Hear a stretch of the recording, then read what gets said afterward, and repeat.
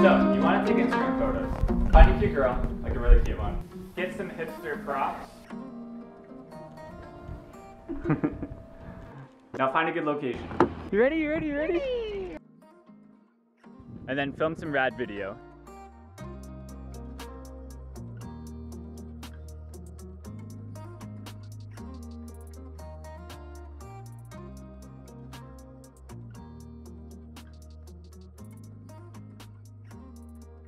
And now, take some photos. All right, so you found a cute girl, you found some props, you drove to a cool location. Now it's time to take dope photos for your Instagram feed because remember, your likes determine your self-worth as a photographer. So we're gonna get started here. We're at this very nice scene. We have a lot of natural light coming from the bright sun. It's kind of that sunset hour, that really clean light that I love shooting. Lots of warm tones coming into the photo naturally. All right, so the white balance we're using today is 7000. I'm gonna be shooting at an aperture of 1.4. I love shooting at my lowest aperture possible because I love the creamy bokeh in the background. And since we have one subject, we can really isolate her and just focus on her one eye or any other subjects like the coffee mug or her hat and really utilize that shallow depth of field. If I was shooting with a couple and I wanted both of them in focus, I'd shoot 2.8, but because we just have her, 1.4. The shutter speed I'm using is 2 thousandths of a second and the ISO 200. So now I'm gonna show you guys behind the scenes of how I would capture the photos here. You're just gonna hear raw video of us just hanging out, having fun. So let's start this GoPro up and take some photos. So the first thing you wanna do is just kind of capture the story of the scene, you know, her walking into this area, some water shots of her just like kind of walking, hanging out. And then we're gonna take her down to the bottom of this walkway here. If you're new to this subject, kind of get to know her before the shoot, um, so it's not awkward. Is this awkward? Luckily, I'm gonna marry this woman, so uh, it's very easy to make her laugh in front of the camera. But uh, if you're a newer photographer, um, really make sure your subject's at ease before you even start taking photos. Like just hang out and talk for 20 minutes before the shoot, before you even take out a camera. If you're meeting a model for the first time, don't just be like, hi, my name's Jeremy, and then start taking photos. Man, that's not gonna be a good first impression, so don't do that. Uh, so yeah, just get to know that model. Maybe uh, ask the model bring a friend, or you can bring a friend, so it's not just one-on-one, not as awkward. There's more conversations going on. And while you're taking photos, maybe get some music going, some good tunes. Um, I don't do that a lot because I, I don't really feel the need to, but if you're new to this, just get some tunes, get the vibes going. But yeah, we're gonna get started here. So start walking down the aisle, my love. We're married. A little bit more over, like kind of like 90 degrees, yeah. Then you can look straight out into the sun. Uh, if I ever standing right there, the sun's right there. So if I, here's the camera, here's the lens right now, the sun is behind her. But if we put the sun literally behind her, it's gonna put a halo around her. So we're gonna do that. So it looks really good. So if, we're, if we have the sun literally behind her, it looks like that.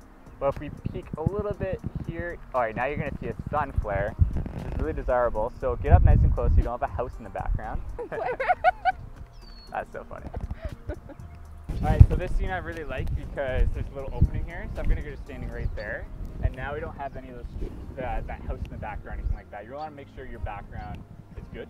Um, what would make this background better if they're like tree leaves kind of halfway into the pond, but we don't have that um, because the sun would illuminate the trees, blah, blah, blah. That's what I'm used to, but here, let's do this. Uh, this is kind of a cool shot.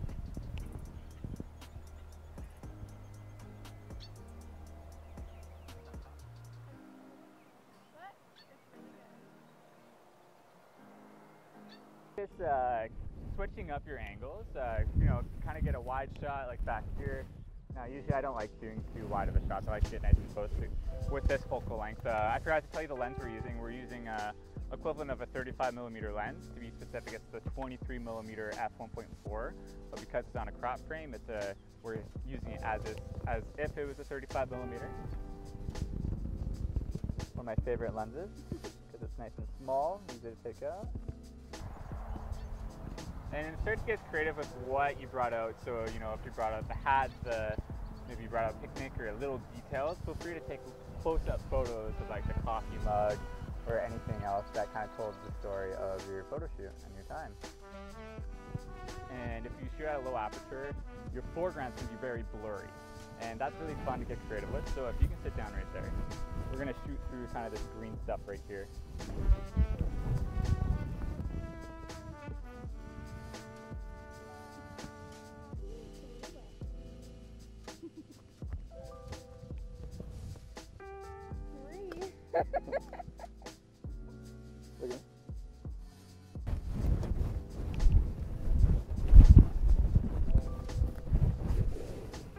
Definitely try out different elevations, like shooting up here is kind of cool.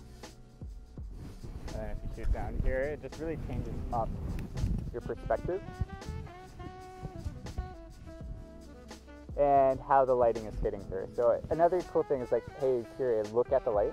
If you get her looking at the light, it'll be a totally different look and feel than if you, you look to her left. Look to your left. And a little bit more towards me. A little bit more to your left. Now there's a lot more shade and contrast on her face. Instead, if you look to your right again, then like her her face really pops. It's really like the main feature of the subject here. It's the main feature of this image. But if she looks another way, then it's like boom.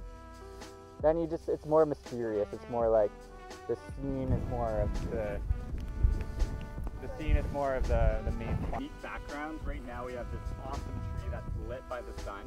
So if I have her in front of the tree, uh, the tree's going to be totally nice bokeh. It's going to be really rich bokeh. It's going to be very bright and airy. So let's take that photo. Yeah, I'll send you, uh, I'll have you closer. So we're going to take two photos here. The first one is if she was right here. So there's larger separation between her and the trees. So we're going to take that photo. So that means we're going to have better bokeh. It's going to look a lot more crisp.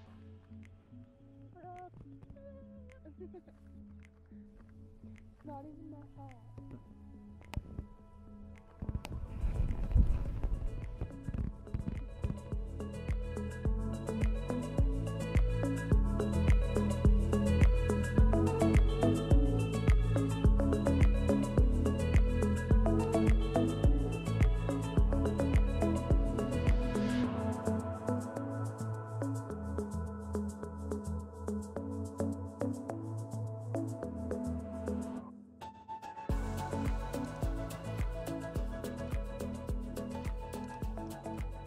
All right, we made it to location number two. Unfortunately, our sun is temporarily behind a cloud. So I'm gonna say, fuck off cloud, and hopefully we'll have sun in five minutes. And now it's nice to switch up your scenes. Over there, I was liking it, but there's a lot of direct sun coming into it, which is great for photos. However, you want to switch it up sometimes. So I came to a path where there's a lot of cool trees, and you can't see the trees right now, but I promise you, there are trees. so we're gonna take some photos here. Hopefully the sun comes out, and then we'll do some photos where she is center in the middle of the trees and the arch. And look for the vine, look for the vine. That's epic. What? Yeah. Aw,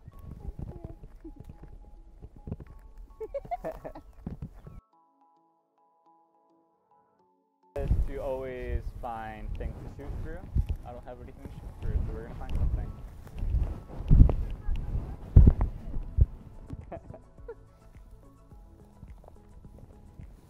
So as you can see, it's kind of a nice foreground, and uh, like like we were doing before, you can uh, shoot through things that are naturally on the ground, or you can kill the earth and shoot through it. And as you can see, I'm gonna break it even more. I'm gonna turn it into a V, so there's two things to shoot through. kind of frames your subject nicely.